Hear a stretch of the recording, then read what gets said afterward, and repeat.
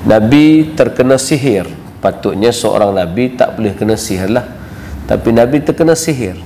Nabi terkena perasaan lupa. Nabi terkena demam yang sangat kuat. Nabi SAW ada marah. Nabi ada kekecewaan.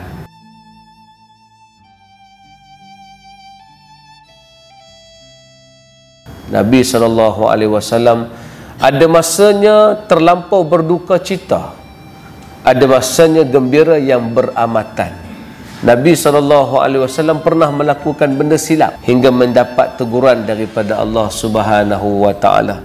Nabi pernah silap kerana membebaskan tawanan Badar sedangkan Allah membenarkan ucapan Omar bahawa tawanan Badar hendaklah dibunuh. Nabi SAW pernah tersalah kerana pernah minta ampun kepada Abu Talib sedangkan Abu Talib mati tidak dalam keadaan Islam. Nabi pernah silap memberi nasihat kepada sahabat yang sahabat itu minta panduan macam mana cara untuk memberikan kurma dia, tamar dia, buah yang begitu banyak. Advice Nabi silap. Nabi bagi benda yang silap hingga kan apa yang diusahakan oleh sahabat itu tidak menjadi. Maka Nabi menyebut dengan perkataan antum a'lamu bi umuri dunyakum. Kamu lebih tahu urusan kamu.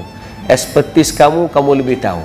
Ha, jadi makna Nabi ada kelemahan. So di situ memberikan gambaran cantik bahawa betapa Nabi kita tak perlu rasa bahawa kita tak boleh tiru Nabi.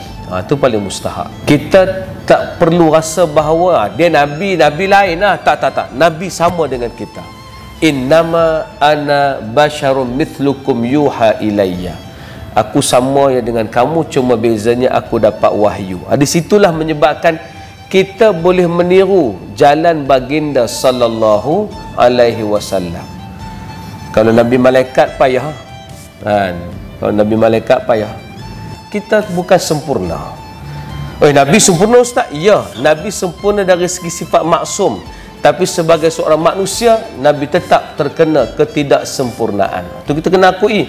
Kalau kita kata Nabi sempurna segala-galanya, everything Nabi tak pernah silap, maka menyebabkan Nabi akan jadi malaikat. Bila Nabi dia malaikat, kita akan timbul perkataan ni. Tak apalah tu Nabi, bolehlah kita bukan Nabi. Ha, ini ayat yang kita tak mau dengar tuan-tuan.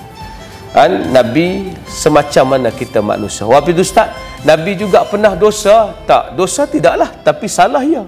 Sebab Allah mengistiharkan kesilapan Nabi bukan sebagai dosa untuk Nabi sallallahu alaihi wasallam. Hadis itulah bukan kita mengurangkan darjat baginda, tetapi kita nak memanusiakan baginda. Ha, tu kena faham tu.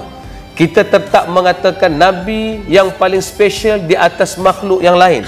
Tapi Nabi tetap manusia, yang ada perangai manusia. Kan? Nabi tetap qada hajat, Nabi tetap makan, Nabi tetap perlukan kasih sayang, Nabi tetap perlukan pujukan seorang isteri.